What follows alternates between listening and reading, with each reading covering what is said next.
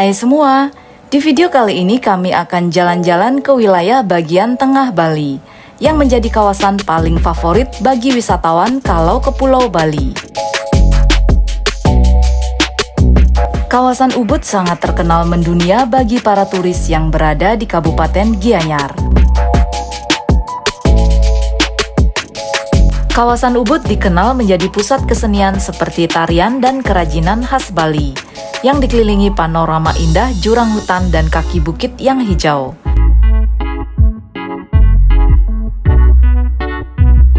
Selain itu, Ubud juga mempunyai kuliner bercita rasa Bali yang sering menjadi tujuan favorit wisatawan. Salah satunya kuliner legendaris yang pastinya sangat terkenal di Kedewatan Ubud yang wajib dicicipi kalau ke Bali. Abis Parker Jalan dulu ya. Lokasi warung berada di pinggir jalan, dan pengunjung bisa parkir di pinggir jalan atau masuk ke parkiran dalam. Warung makan ini sudah ada sejak tahun 1963, yang saat ini mempunyai cabang lain yang ada di Denpasar, Kuta, dan juga Jimbaran. Ada banyak camelan nih.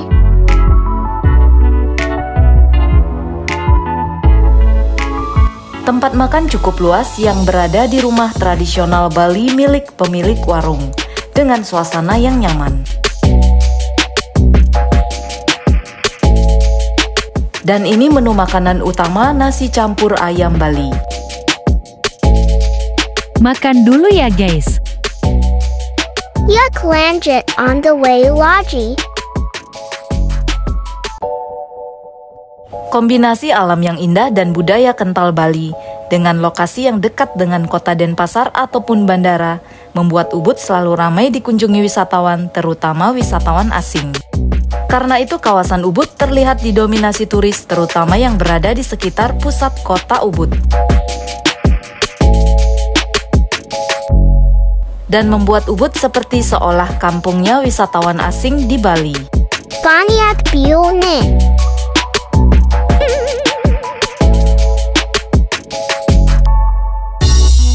Perjalanan kami akan menuju ke Kecamatan Tegalalang yang dekat dengan Ubud dan sering dikunjungi wisatawan. Dan saat ini di sepanjang jalan sedang ada perbaikan trotoar jalan. Salah satu daya tarik dari kawasan Ubud yaitu keasrian alam dengan kedamaian dan sejuknya udara Ubud. Karena adanya hutan yang rimbun, bukit yang indah, dan juga hamparan sawah yang sangat rapi. Sawah teras siring Tegalalang atau yang juga populer dengan sebutan Tegalalang Rice Terrace menjadi tempat favorit wisatawan di kawasan Ubud.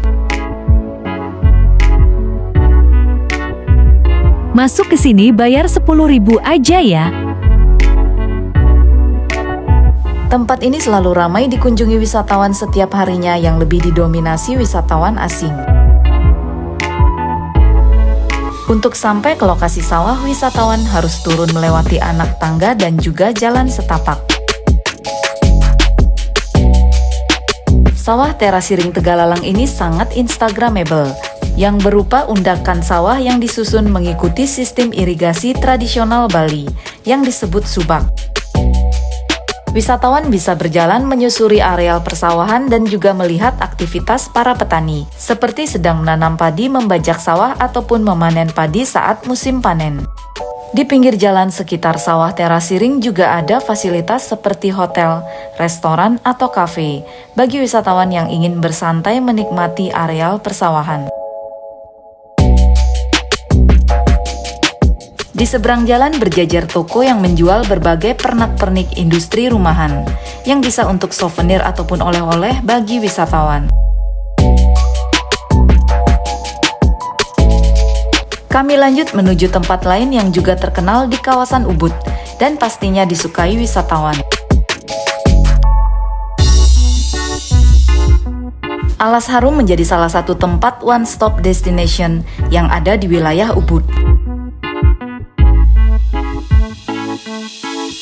Tempat ini biasanya sangat ramai dikunjungi wisatawan, karena itu tersedia parkir yang sangat luas. Parker Kiria.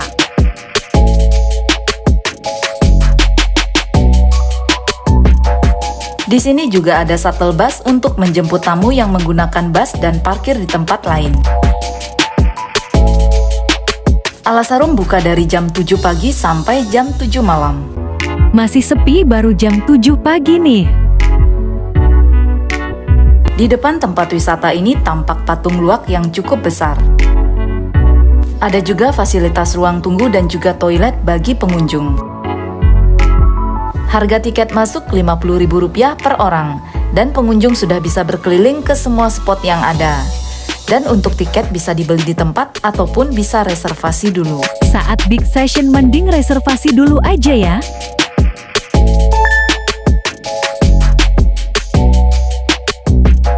Tiket dan gelang ya.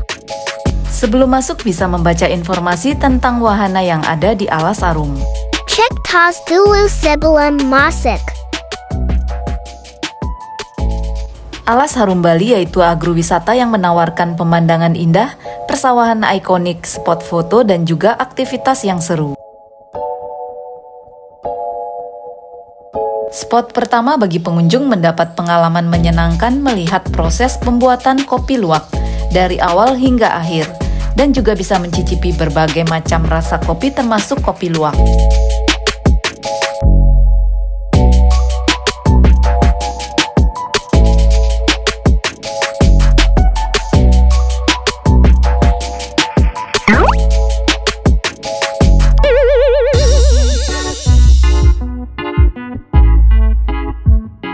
Alasaru mempunyai areal yang sangat luas yang mencapai 8 hektar.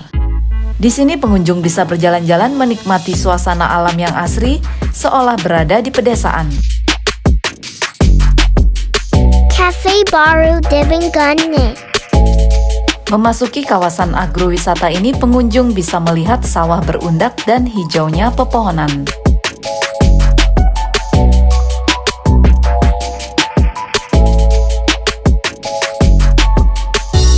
Alasarum menjadi destinasi wisata dengan kombinasi keindahan alam dan juga wahana menarik di tengah hamparan sawah terasiring. Biar gak nyasar baca dulu ya.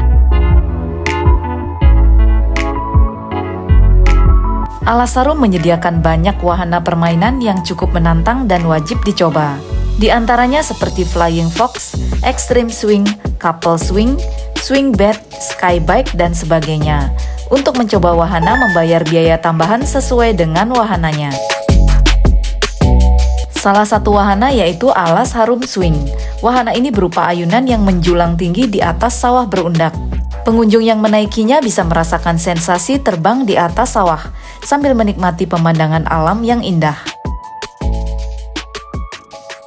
Pengunjung bisa puas menikmati pemandangan alam dengan udara yang sejuk segar dan juga bebas berfoto di beberapa spot foto yang menarik.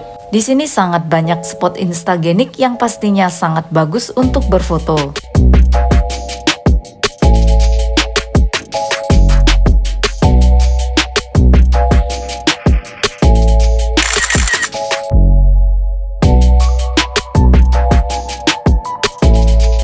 Tempat yang sangat luas di sini membuat pengunjung harus mempunyai stamina yang fit saat berlibur. Karena harus berjalan kaki cukup jauh dan pentingnya menggunakan alas kaki yang nyaman. Di sini juga banyak spot duduk bersantai. Pengunjung yang cukup lelah berjalan bisa santai dan nongkrong dulu ya.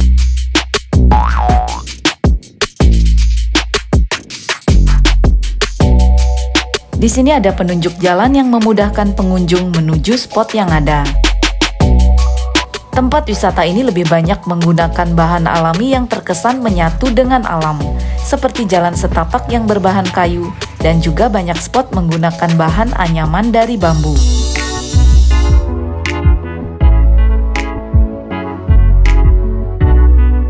Pengunjung yang didominasi wisatawan asing biasanya sangat menyukai aktivitas berfoto di tengah hamparan sawah yang hijau. Di bagian bawah ada sebuah tempat persembahyangan yang terlihat sangat asri, dan wisatawan juga bisa melihat dari dekat.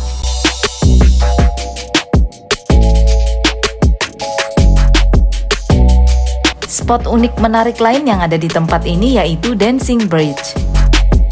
Jembatan ini akan bergoyang seolah menari saat dilewati. Di bawahnya ada sebuah sungai kecil berair jernih.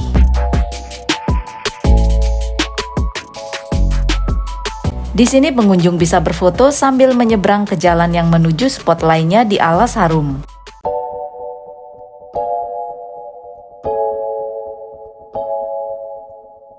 Kami akan menuju ke salah satu spot yang ada sebuah patung yang berdiri megah di tengah lembah dan rimbunya pepohonan.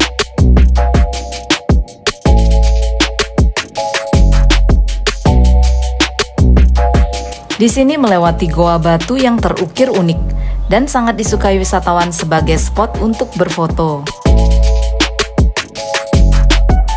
Patung Presiden pertama RI ini menjadi patung tertinggi di Indonesia yang terbuat dari anyaman bambu dan sudah mendapatkan rekor muri. Ketinggian patung kurang lebih sekitar 19 meter dengan lebar 15 meter dan berat sekitar 3 ton yang berkonsep ramah lingkungan. Karya seni patung Bung Karno ini dibuat oleh seniman asal Ubud Gianyar dengan gagasan dari owner objek wisata Alas Harum. Mahakarya berupa patung tokoh sejarah RI sangat indah terlihat di lembah yang asri, yang juga diyakini sebagai patung presiden tertinggi di dunia yang berbahan anyaman bambu. Gua unik ini mempunyai desain muka gorila yang murni dipahat dari batu aslinya, dengan tinggi sekitar 12 meter. Wisatawan juga bisa masuk dan berjalan di dalam goa dan akan keluar di mulut ukiran gorila yang menganga. Selain berfoto, wisatawan juga bisa beryoga atau meditasi di tempat ini. Di sini pengunjung juga bisa menyewa gaun agar mendapatkan hasil foto yang lebih indah.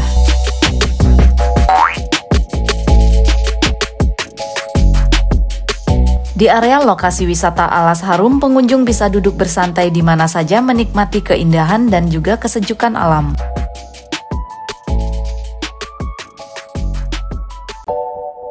Panorama alam di dekat sungai semakin indah yang dihiasi dengan sembilan patung bidadari yang juga terbuat dari anyaman bambu.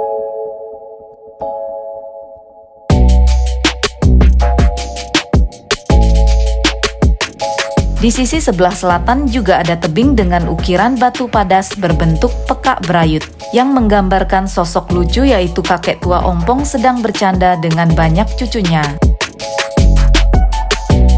Di sisi ini juga ada sebuah jembatan kayu dan di ujungnya ada juga spot untuk duduk santai. Jalan ini juga akan mengarah ke areal restoran. Bagi yang suka menonton video ini, jangan lupa tolong dibantu ya.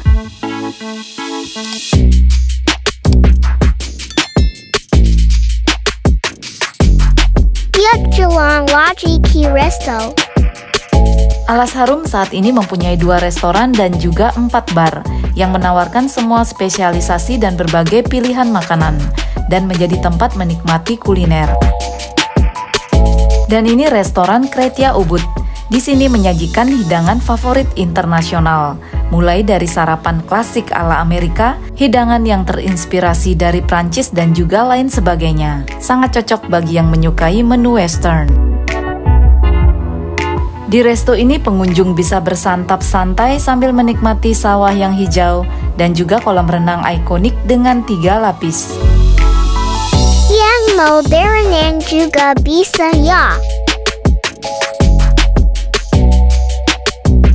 Kretia Ubud berciri khas dengan infinity pool 3 tingkat. Pool tingkat pertama ada bar dengan kreasi minuman dari bartender. Di sini ada tempat duduk pool deck sofa dan ada juga lantana, yaitu sofa berbentuk lingkaran di tengah kolam. Infinity Pool tingkat kedua ada pilihan pool lounge di tepi kolam renang, yang biasanya sebagai tempat makan malam romantis dengan pemandangan seperti air terjun dari pool di atasnya. Dan di pool tingkat ketiga ada day bed untuk bersantai dan berjemur dengan pemandangan langsung ke sawah di puncak tebing. The Live Enjoyer, jangan lupa like, comment, dan subscribe. Di sini juga ada restoran lainnya yaitu Kretia Light. Restoran ini menyajikan menu Asian Taste di alas harum. Di dekat resto ini ada juga tempat menyewa gaun untuk berfoto. Wah semakin remine. Banyak menu ringan tersedia di resto ini, dan berbagai minuman olahan dari kopi termasuk kopi luwak, sambil menikmati suasana alam yang sejuk dan hijau. Yuk ngemil dan minum dulu ya guys.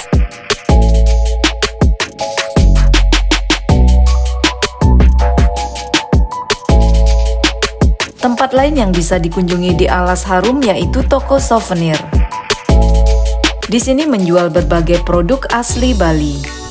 Di antaranya ada berbagai jenis kopi, body care, dan lain sebagainya. Dan di lantai dua ada juga pakaian. Tempat ini biasanya dikunjungi wisatawan untuk membeli oleh-oleh. Semakin siang terlihat suasana objek wisata Alas Harum semakin ramai pengunjung. Alas Harum menjadi salah satu destinasi wisata lengkap yang cukup favorit di wilayah Ubud. Jangan lupa ke sini kalau ke Ubud ya. Yuck on the way Logi. Perjalanan kami akan menuju tempat makan yang sangat ramai pengunjung di Kabupaten Gianyar. Lokasinya melewati jalan kecil masuk ke pemukiman dan berada di area persawahan. Tempat makan ini cukup disukai penduduk lokal dan juga wisatawan domestik. Di jam makan siang biasanya sangat padat dengan pengunjung, seperti saat ini. Tersedia parkir yang luas tapi sering kali sangat full. Kari Parker dulu ya. Dan saat ini pengunjung yang datang harus antri menunggu tempat duduk yang full. Wow. Warung Pande Egi sudah ada sejak tahun 2016 dan dikenal luas. Tempat makan ini berkonsep modern di pinggir sawah yang hijau, yang cukup berbeda dengan tempat makan yang menjual menu yang sama biasanya kental akan suasana tradisional. Di sini ada berbagai minuman sebagai pelengkap menu utama. Mari makan.